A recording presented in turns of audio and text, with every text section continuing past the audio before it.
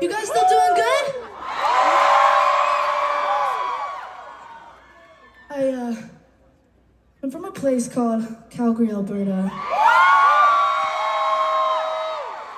I was actually just there this weekend for my 21st birthday, which was crazy.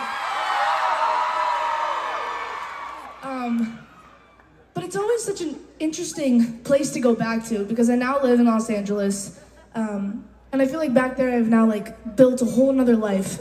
Um, and it's always the most interesting feeling coming back home because once you feel like you've kind of established yourself in one place and grown up, I feel like you can come home and it feels like you go back into all your old high school habits. Um, I, uh, I always feel so weird because I act so normal, and then as soon as I get back to Calgary, I'm like a pain in the ass to my mom and dad. I'm the most annoying little sister, and um, I never, I never really knew how to describe that feeling. Um, but then one day I, I went to the bar and I came back home and I decided to write this song. Um, so this one's called Calgary, actually.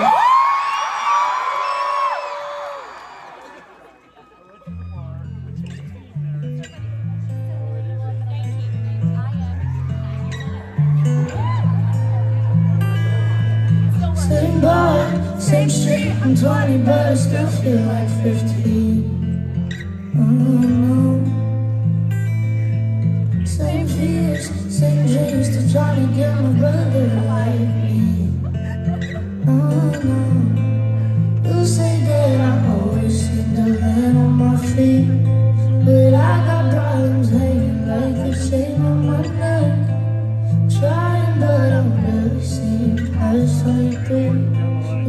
Of me right a mess.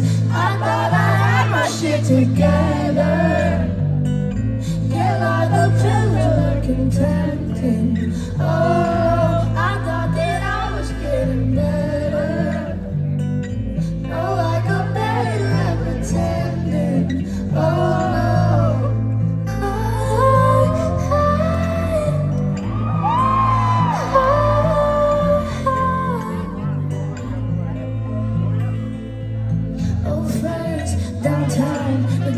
me then, don't like me now. I'm drunk, oh wow, all my habits get back around. I figure it out, this what I say. Figure it out and take a break. Figure it out, maybe one day I'll finally get my shit together.